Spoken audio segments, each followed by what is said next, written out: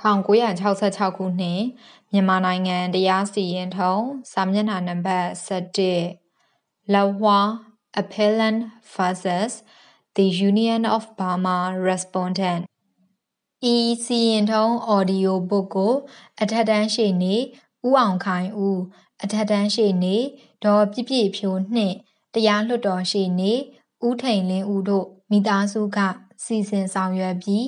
ဒေါ်ယူပါစောမင်းမှ ဖတ်ကြားခြင်းဖြစ်ပါသည် Criminal Appeal before Uttarphe Judge Let Hpwa Appellant versus the Union of Burma Respondent. Appeal against an order of detention in the Borstal school.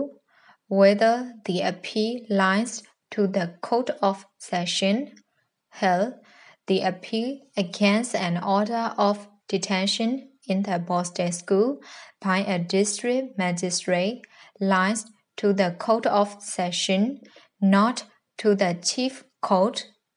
Manda and another versus the state. 14. Rangoon, page 143. Refer to and follow. For the appellant, UNET, government advocate for the respondent. Uttarphe Judge. This is an appeal by one Let Hpwa who has been ordered to be detained in the Borstal school for a period of five years by the district magistrate Pan. The appeal against an order of detention in the Borstal school by a district magistrate lies to the Court of Session and not to this court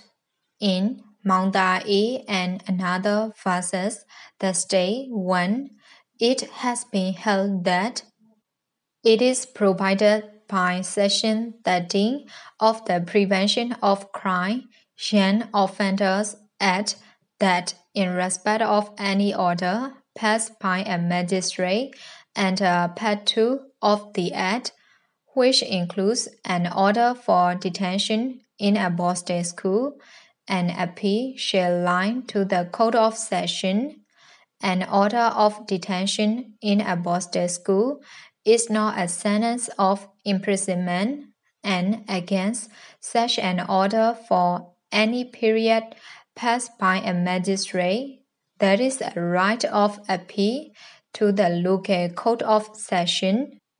The only circumstance in which the appeal against such an order will lie to the High Court is under Proviso B to Section 408 of the Criminal Procedure Code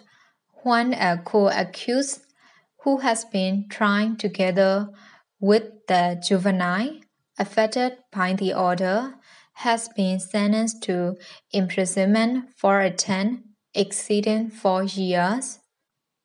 this appeal will therefore be transferred to the Court of Session, Moulmein, for disposal and the session judge is directed to accept the appeal as having been instituted in his court on the date on which the memorandum of appeal was presented in this court. A copy of this order will be sent to the appellant for information